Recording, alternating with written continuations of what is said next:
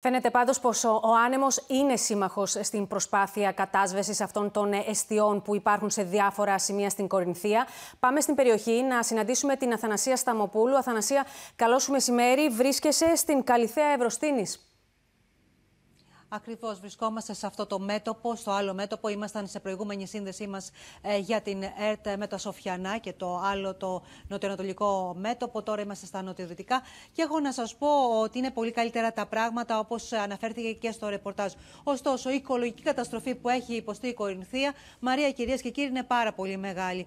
Ε, Πολλές οι καλλιέργειες, χιλιάδες στρέμματα έχουν ε, καεί με αποτέλεσμα οι κάτοικοι να μετρούν τις πληγές τους, να μας λένε ότι τα περισσότερα από τα λεόδεντρά τους έχουν ε, παραδοθεί στις φλόγες, να μην έχουν μέχρι στιγμής νερό, γιατί δεν έχει αποκατασταθεί το δίκτυο της ίδρυυση ούτε της άδρευσης. Έχουν ευτυχώς ε, ηλεκτρικό ρεύμα. Ήταν μια δύσκολη φωτιά, είναι το ανάγλυφο της περιοχής, είναι τα δύσβατα σημεία, ήταν ε, η πολύ μεγάλη απόσταση που έχει το ένα μέτωπο από, την, από το άλλο και πολύ δύσκολη η δρόμη. Δηλαδή, πολλές φορές χρειάστηκε η πυροσβεστική να χρησιμοποιήσει ερπιστριοφόρα προκειμένου να ανοίξει τους δρόμους και να πάει κοντά στα μέτωπα των πυρκαγιών. Ευτυχώς, σήμερα ο καιρός είναι σύμμαχό μας, ε, σύμμαχος των πυροσβεστών και των ανθρώπων, ε, των κατοίκων της περιοχής.